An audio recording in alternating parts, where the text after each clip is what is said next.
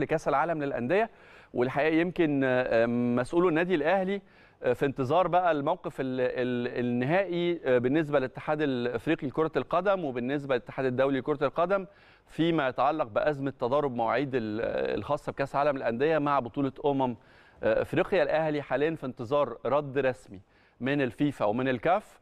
بعد ما أرسل مسؤول النادي الأهلي خلال الساعات الأخيرة خطابات لكل من اتحاد مصري لكرة القدم، اتحاد أفريقي لكرة القدم، والاتحاد الدولي لكرة القدم عشان يرفعوا الضرر الواقع على فريق الكره بسبب طبعا تعارض المواعيد بين بطولة كأس العالم للأندية اللي هتتلعب من 3 ل 12 وبطولة أمم إفريقيا اللي مفترض إنها تخلص في 6 فبراير وحضراتكم عارفين إنه سواء مع منتخب مصر أو منتخب مالي أو منتخب تونس أو منتخب المغرب الأهلي هو أكتر الفرق اللي بتشارك في كأس العالم للانديه عنده لاعبين في.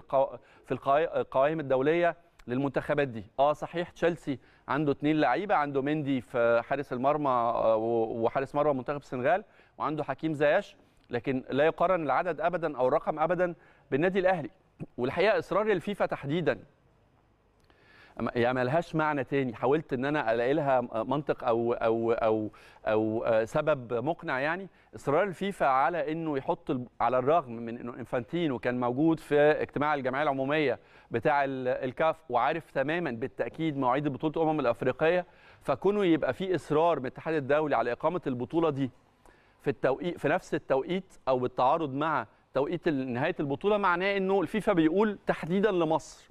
تحديدا لمصر. على المصريين إما إن هم يتخلوا عن حقهم وعن حلمهم في التتويج ببطولة إفريقيا ومصر دايما مهما كانت في أضعف حالاتها هي بالتأكيد دولة قوية ومرشحة.